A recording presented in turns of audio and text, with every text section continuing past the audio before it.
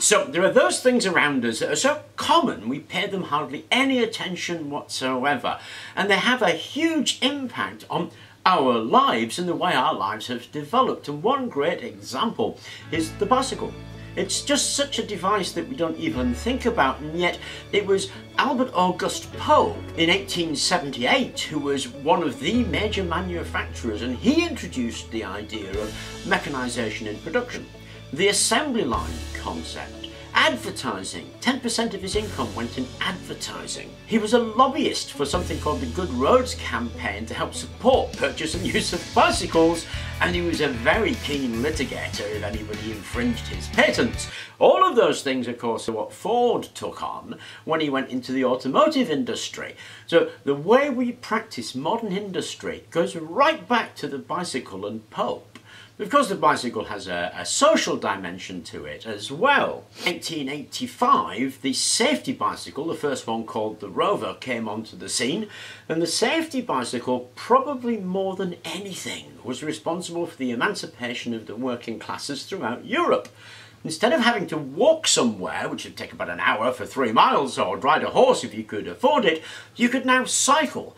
The entire European population got up and moved around and suddenly they had a huge amount of freedom and this included the emancipation of women and the freedom of women cyclists to be able to get around and visit and see and travel. So the bicycle it began a huge social change now, of course, the way we see the bicycle was very different from the first bicycle. The first bicycle was a velocipede in 1817. It was a, a French development. It became known as the hobby horse or the dandy horse.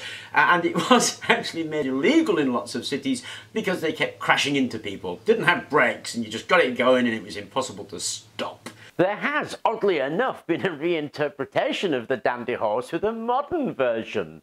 But aside, perhaps the most successful bicycle that began this whole thing was the Bone Shaker. And here is the Bone Shaker. The idea of suspension, right there, is that spring that you sat on going down through the stairs. And of course, here we've got the pedals directly attached to the drive wheel.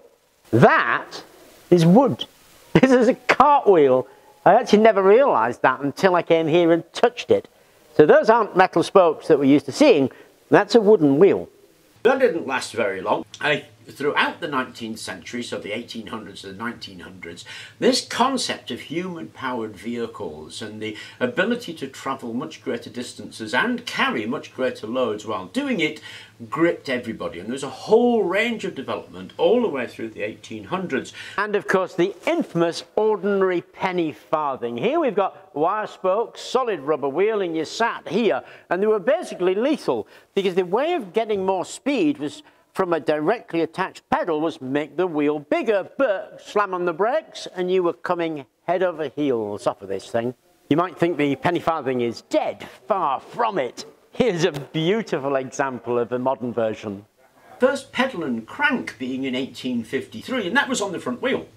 Of course, there's a big problem trying to circle and pedal on the front wheel. If you try to turn a corner, it gets to be quite difficult. And it was the safety bicycle that integrated three major components, the pedal and crank, the chain drive so you could drive the rear wheel and the diamond frame. A diamond frame is the frame that we see on modern bicycles today. Because these developments made the bicycle immensely popular. It was used in mass transport, it was used to carry goods, there were hansom cabs and rickshaws in it, and there were even mechanised troops during World War II where whole regiments of the Wehrmacht were on bicycles. Bicycles were dropped behind the lines for the Allied invasions and the Japanese confiscated bicycles from the Chinese population because they were so ubiquitous. The first electric bicycle, incidentally, was in 1897. Things like the diamond frame and Dunlop tyres, they don't improve the bicycle per se. The bicycle doesn't necessarily need a diamond frame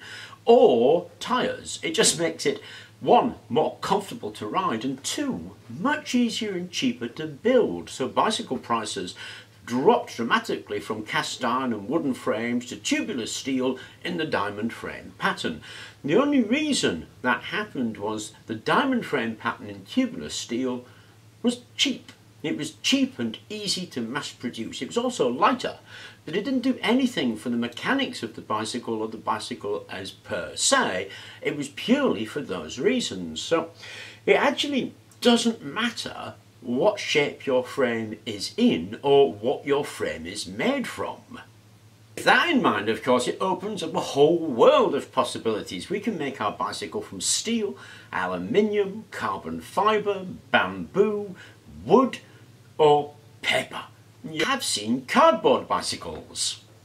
So I'm sure you're getting the idea. I think bicycles are absolutely awesome. They're elegantly simple in their engineering, they're absolutely everywhere, they're tremendously useful, and they're responsible for social change. In fact, around 100 million bicycles are produced worldwide every year. So yes, they're great things with interesting engineering challenges and interesting mechanisms about them even now. But sadly, there's also about 15 million bicycles every year in the UK discarded. That's not recycled, that's just thrown away. So they're equally a tremendous source of parts. They have gears, they have chains, they have wheels, they have frames, and they can be used to make an astonishing number of things from uh, wind turbines to um, blenders to saws to just an amazing amount of things that we've made. We've made freewheels, we've made generators, we've made windmills, we've made smoothie makers,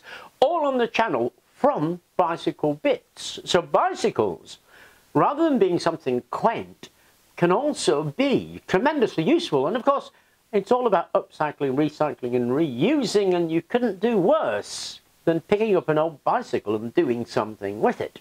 Anyway, I hope you enjoyed the video. Thank you very much for watching and please do remember to like and subscribe.